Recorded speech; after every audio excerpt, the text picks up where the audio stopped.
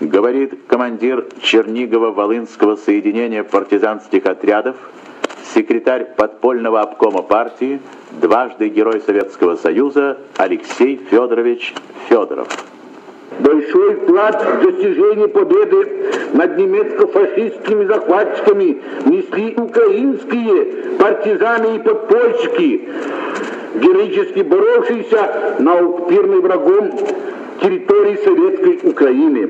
Уже в 1941 году немецкое командование вынуждено было отвлечь на борьбу с украинскими партизанами более 30 тысяч солдат и офицеров. В 1942 году 120 тысяч, а в 1943 году свыше 200 тысяч человек. Боевые действия партизан оказали исключительно большую помощь наступающим советским войскам. Во время подготовки наступления немцев под Курском в июле 1943 года партизаны Украины пустили под откос 349 вражеских эшелонов а в разгар Курской битвы 644 эшелона живой силой, техникой, вооружением противника. Образцом организованного разгрома коммуникаций противника была операция под названием Ковальский узел, проводившая Чернево-Волынским соединением.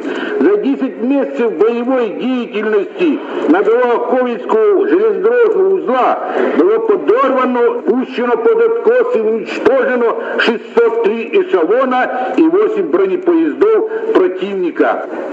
За годы Великой Отечественной войны украинские партизаны по далеко неполным данным истребили и вывели из строя около 465 тысяч гитлеровских солдат, офицеров и их прислужников. Пустили под откос 4958 вражеских эшелонов живой силой и боевой техникой. Взорвали 1566 танков и бронемашин, уничтожили 211 самолетов, за самоотверженную борьбу против фашистских оккупантов десятки тысяч партизан и подпольщиков награждены орденами и медалями. 93 партизана удостоены высокого звания Героя Советского Союза.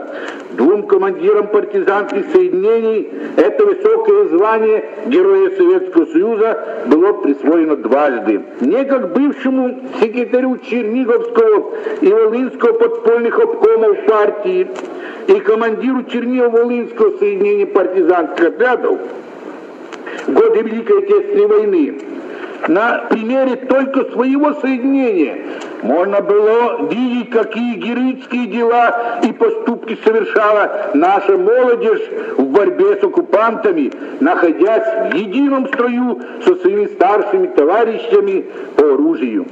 Золотыми буквами писаны в историю партизанского движения молодые герои, прославившие себя в борьбе с фашизмом Вася Коробка, Володя Казначеев, Миша Глазок, Павка Вершинин, Нона Погуляйло, Лиля Карастоянова, Володя Павлов, Яков Батюк, слепой, совершенно невидящий, и его родная сестра Женя Батюк.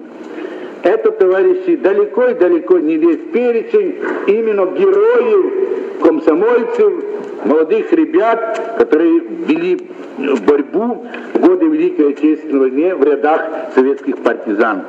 Достаточно сказать, что одними из первых в Чернигово-Волынском соединении партизанских отрядов были награждены орденом Ленина и боевого красного знамени юные подрывники Вася Коробко и Володя Казначеев, которым было в то время всего лишь по 14 лет.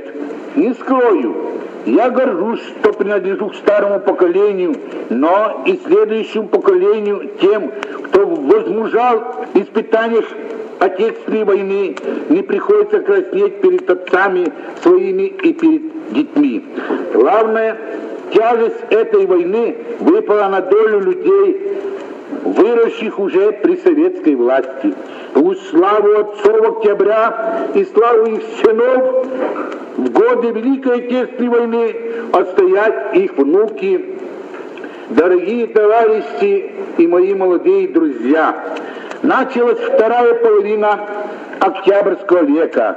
Она принадлежит вам, молодым, Будьте такими мужественными и храбрыми, как были ваши отцы и старшие братья.